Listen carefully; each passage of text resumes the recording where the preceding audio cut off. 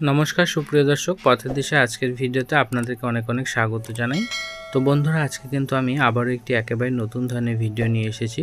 তো আপনারা দেখতে পাচ্ছেন, এটা হচ্ছে একটি জামরুল গাছ এবং গতবার কিন্তু এই গাছটিতে প্রচুর মাত্রায় জামরুল হয়েছিল। তো এবার কিন্তু এই গাছটিতে অনেক রকম সমস্যা দেখা দিয়েছে। তার মধ্যে প্রধান যে সমস্যা হচ্ছে, তা হচ্ছে গাছের পাতাগুলো কিন্তু একেবারে পুড়ে যাচ্ছে। তো আপনারা দেখতেই পাচ্ছেন, গাছের সবগুলো পাতায় কিন্তু পাইপ পুড়ে গিয়েছে। তো এই গাছের পাতাগুলো কেন পুড়ে যাচ্ছে এবং এর জন্য আমরা কি করতে পারি সেই প্রসঙ্গে কিন্তু আজকের এই ভিডিও। তো আমার এই চ্যানেলে আপনারা যদি কেউ নতুন হয়ে থাকেন অবশ্যই এই চ্যানেলটিকে সাবস্ক্রাইব করে দেবেন এবং পাশে থাকা বেল আইকনটি প্রেস করে দেবেন পরবর্তী ভিডিওর নোটিফিকেশন পাওয়ার জন্য। তো আসুন শুরু করা যাক।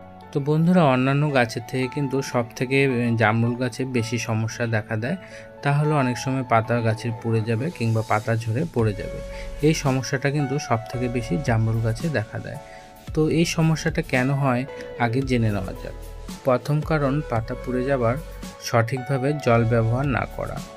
তো বন্ধুরা, আমরা কিন্তু অনেকেই গাছে সঠিকভাবে জল ব্যবহার করি না। তার জন্য কিন্তু গাছের পাতাগুলো পুড়ে যায়। তো অনেক সময় এখন কিন্তু গরমকাল চলছে এবং গরমকালে আমরা যদি গাছে অতিরিক্ত জল প্রয়োগ করি, সেক্ষেত্রেও কিন্তু গাছের পাতাগুলো পুড়ে যেতে পারে। আবার যদি আমরা কম জল প্রয়োগ করি, সেক্ষেত্রেও কিন্তু গাছের পাতা পুড়ে যেতে পারে। তো আমাদেরকে একেবারে সঠিকভাবে এবং গাছের মাটি দেখে তারপরে কিন্তু গাছের জল প্রয়োগ করতে হবে। এছাড়া কিন্তু গাছটিকে একেবারে সকালে কিংবা সন্ধ্যার সময় জল প্রয়োগ করতে হবে এবং গাছটিকে একেবারে স্নান করিয়ে দিতে হবে, তাহলে কিন্তু আমরা কিছুটা রক্ষা পেতে পারি পাতা পড়ার রোগ থেকে। তো বন্ধুরা, আমরা যদি সঠিকভাবে গাছে জল প্রয়োগ করি, তাহলে কিন্তু গাছটি সুস্থ এবং সবল থাকবে এবং গাছের পাতাগুলো পুরো সবুজ থাকবে। তো প্রধান কারণ হচ্ছে জল সঠিকভাবে প্রয়োগ না করা। তো অবশ্যই গাছের মাটি দেখে আমরা কিন্তু গাছে জল প্রয়োগ করব। দ্বিতীয়ত যে কারণ হচ্ছে সেটা হচ্ছে অতিরিক্ত রৌদ্রের কারণে। তো বন্ধুরা, আমরা কিন্তু যে গাছগুলো টবে লাগাই তার উপরে কিন্তু আমরা মালচিং করি না। সেক্ষেত্রে কিন্তু ডাইরেক্ট সূর্যের আলোটা একেবারে গাছের গোড়ায় পড়ছে। এর ফলে কিন্তু গাছের পাতাগুলো সব পুড়ে যাচ্ছে। তো সেক্ষেত্রে কিন্তু আমরা গাছের গোড়ায় পেঁয়াজের খোসা হোক কিংবা কোনো গাছের শুকনো পাতা হোক, এগুলো দিয়ে কিন্তু আমরা অবশ্যই মালচিং করে দেবো। তাহলে কিন্তু কিছুটা হলেও গাছের যে পাতাগুলো আছে, সেগুলো কিন্তু পোড়া বন্ধ হয়ে যাবে। তৃতীয়ত যে কারণ হচ্ছে, সেটা হচ্ছে অতিরিক্ত তাপমাত্রার জন্য। কারণ আমরা কিন্তু গাছটিকে সরাসরি সূর্যের দিকে মুখ করে রেখে দিই। এর ফলে কিন্তু গাছের ওপরে পুরোপুরি সূর্যের আলো এসে পড়ে এবং আমরা কিন্তু এই গাছগুলোকে বেশিরভাগই প্লাস্টিকের বালতি কিংবা প্লাস্টিকের টবের মধ্যে রোপণ করি। এর ফলে কিন্তু এমনিতেই গাছের মাটি কিন্তু গরম হয়ে থাকে, তারপরে অতিরিক্ত সূর্যালোকের ফলে কিন্তু গাছের মাটি আরও গরম হয়ে যায়। এর ফলে কিন্তু গাছের পাতাগুলো ঝরে পড়ে যায় এবং কিছু কিছু পাতা কিন্তু পুড়েও যায়। এবং জামরুল গাছের ক্ষেত্রে কিন্তু আমরা কখনোই শেড ব্যবহার করি না।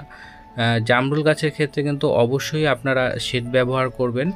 যদি আপনারা শেড ব্যবহার না করেন, তাহলে কিন্তু গাছটিকে ছায়ামুক্ত জায়গায় রাখবেন। না হলে কিন্তু গাছের পাতা ঝরে যাবে এবং অনেক পাতাই আপনার পুড়ে যাবে। তো আমার এই গাছটি আপনারা দেখতে পাচ্ছেন যে, অতিরিক্ত সূর্যালোকের ফলে কিন্তু গাছের প্রায় সবগুলো পাতাই কিন্তু পুড়ে পুড়ে গিয়েছে। চতুর্থ, গাছের পাতা পুড়ে যাবার আরেকটি অন্যতম যে কারণে হয়ে থাকে, সেটা হলো ছত্রাক কিংবা ব্যাকটেরিয়ার আক্রমণ। আপনার গাছে যদি ছত্রাক কিংবা ব্যাকটেরিয়ার আক্রমণ হয়, তাহলে কিন্তু গাছের পাতাগুলো ঠিক এরকমভাবে পুড়ে যাবে। সেক্ষেত্রে কিন্তু আপনারা মাসে এক থেকে দুবার যে লোকাল হলুদ আছে, সেই লোকাল হলুদটাকে ভালো করে পেস্ট করে তারপর গাছে কিন্তু স্প্রে করতে পারেন। এছাড়াও কিন্তু আপনারা চাইলে বিভিন্ন কীটনাশক ব্যবহার করতে পারেন।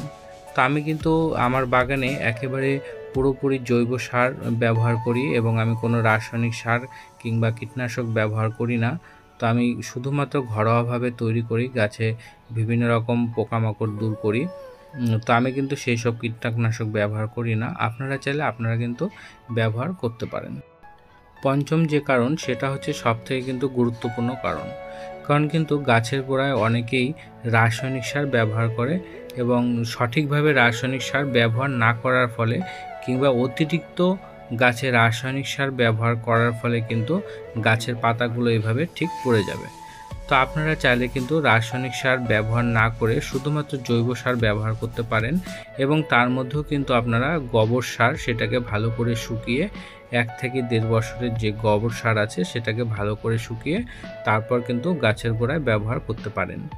তো বন্ধুরা, আপনারা যদি আপনাদের এই গাছগুলোকে সুস্থ রাখতে চান এবং সতেজ রাখতে চান, তাহলে এই নির্দেশগুলি মেনে চলুন এবং আমার এই ভিডিওটি যদি আপনাদের ভালো লেগে থাকে, তবে একটি লাইক, কমেন্ট, শেয়ার করে দেবেন এবং পরবর্তীতে আমি আরও অনেক নতুন ধরনের ভিডিও নিয়ে আসব।